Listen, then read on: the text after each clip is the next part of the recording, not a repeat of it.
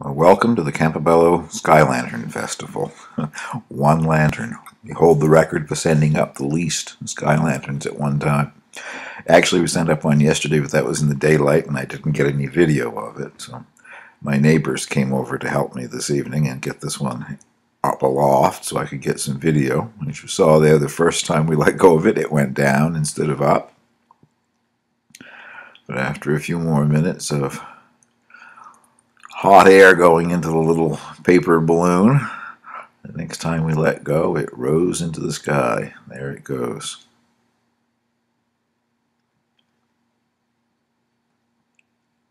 We don't know what the people down in the village might have thought this evening when it drifted over their houses because it headed right towards the largest village here on the island. So it'll be interesting to see if there's any UFO comments around here tomorrow with something with flames shooting out of it. Well, thank you very much for watching. That just about concludes the Campobello Sky Lantern Festival.